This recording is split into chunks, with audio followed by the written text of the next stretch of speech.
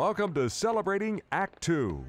Celebrating Act Two is the user manual for the second half of your life. Welcome back. Here we are again with Michele Fabrega, our love and relationship coach, uh, for another uh, interesting topic, I'm sure. I don't even know what I read yet. Michelle, welcome. Thank you. Great to be here with you both. Great to see you again. Hey, you know, uh, Celebrating Act Two is for the second half of your life, people arguably over 50. Mm. Um, and the other day, somebody gave me that look, a younger person. I don't think it was my daughter. I forget who it was, but they gave me that look that was kind of like, you know, act your age.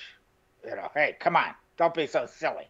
Act your And I thought to myself, it's really true. We're, you know, listen, acting your age, I see people hobbling along with walkers. You know, that's acting your age, if, if from my point of view. But in terms of having fun and attitude and just enjoying life, um, I think a lot of younger people think us older folks should be serious about everything. John, were you acting? About death were you acting? Were you acting young? I must have been. Were you having fun? Accurate. I, to be real honest, I don't even know what that is anymore. I just, you know, have fun. That's my whole goal. So acting your age, what what's so good about that? yeah, yeah. Well, I mean, I think that we a lot of us don't even realize that we have that conditioning around that. Um, first, it probably started when we're younger and we're told to act our age because they're trying to get us to act more mature. You know, our parents maybe are trying to get us to act more mature. But when we get older, sometimes we also have that same, you know, admonishment, right? That we we have to stop doing something or stop being silly. And I just, um, it, it's really unfortunate. And I think it's something to catch ourselves with, both when we notice it for ourselves, um, that we think, oh, I shouldn't be doing this. I should be acting my age, or this is I'm too old to, you know, blah blah blah. Yeah. But also when we notice it about somebody else, because it's almost like there's this.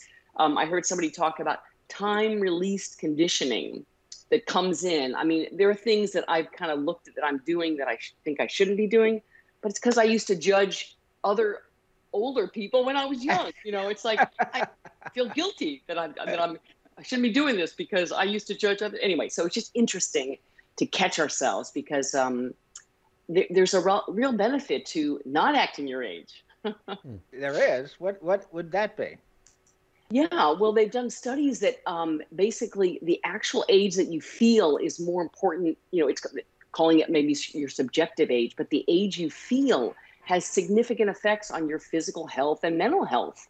And even it's more of a predictor of like a risk of death and other health outcomes. And they're starting to look at this this just you know self-reported sense of age and often we use age as a limiter in terms of you know trying new things or you know being active or whatever and if we think that we're too old for something then maybe we won't do it and it creates that cycle right that vicious cycle of, of, sure. of stopping of whatever slowing down not doing something that maybe we ought to go for it sure. seems to me that um, uh, the this framework of somebody who's over 50 uh, is more often than not used by younger people about older people, particularly women who, let's say, are dressing in a, a, a very young uh, uh, way, in, in, a way that maybe was appropriate in their minds for the 20 yeah. and 30 set.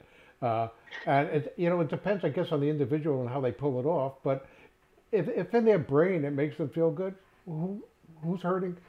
What, what is it hurting anybody? As long as you feel good about it, who cares?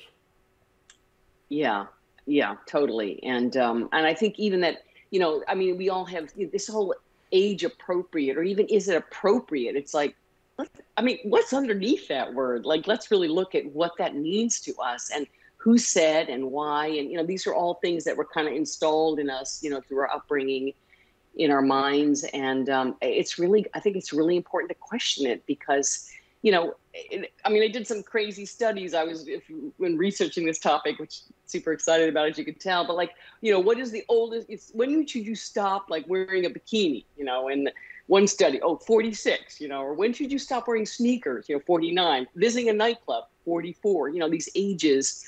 Um, using dating apps, 52. It's like, anyway, it's just interesting that these are like kind of the common sense that people have, and you know, different studies here, whatever. But um, the idea that it's really good to, like I said, look at that and catch yourself because one thing, you know, for sure, there's going to be things that you know, oh, I'm too old for that, and I think it's always important to, to look a little further, like you know, where did this come from? And do I really believe that I'm too old? Like physically, I, I don't have the ability to do it? Or is it because I don't really want to? I don't have the motivation or energy. And those are all good reasons not to do something. Or, you know, my knees aren't that strong. I don't think I want to go downhill skiing again or whatever. You know, the, these can be wise choices to make. But to, to use that catch all, you know, I'm too old or there shouldn't be doing this, it's just, I don't know. I think, yeah, like, I think we need like, to get clear with our language. Sure. I, I, like I'm supposed to do something or not supposed to do something. You know, one of the things that I've noticed over the years as I grew older um, is that men and women uh, never change in the sense that we react to this the opposite sex in the same way we did when we were kids. And I'm talking about flirting. Mm. It doesn't matter. It doesn't matter if you're married or single. It's flirting is a is a wonderful thing to do. Just paying somebody of the opposite sex a compliment. And I've noticed with both men and women, it works.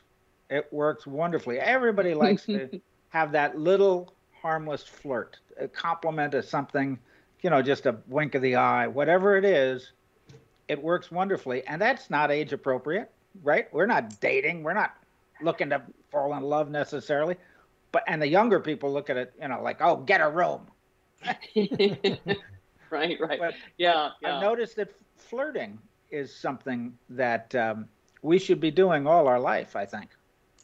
I, I agree with you. I agree with you. I mean, I think there's a, there's some caveats in there. Obviously, I mean, depending on the age of the person, maybe you're choosing the fuller earth, and do they feel safe and comfortable in that situation? Sure. And, sure. Um, you know, there's the Me Too movement where people, you know, have raised the issue of being, you know, concerned about not feeling safe. So I think there's that. But I agree with you that flirting is kind of like um, you know, if it's done well, it's kind of like just a gentle and harmless but joyful exchange. Like, I see you, you see me, happy yeah. to be alive in this moment together, noticing something, you know, in a grocery store or whatever. I think that can be a, a, a joyful thing. And it's kind of a way to um, just share something, you know, small little connection with, with a person, you know, that you don't maybe know very well. And, and it's okay.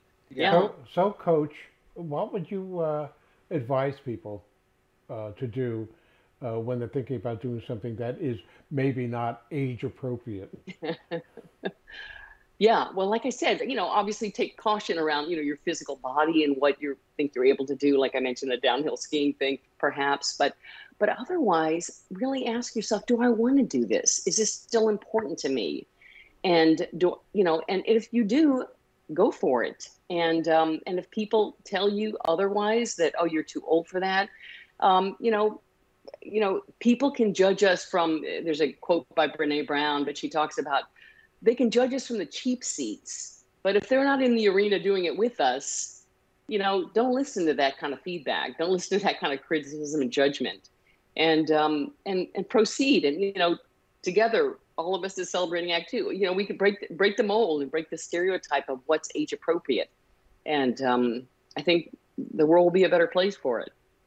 Okay, so my takeaway from this is don't let them judge you from the cheap seats.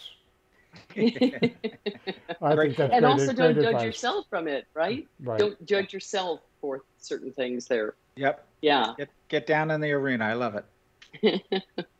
well, Michele, this has been wonderful. Yeah, thank you.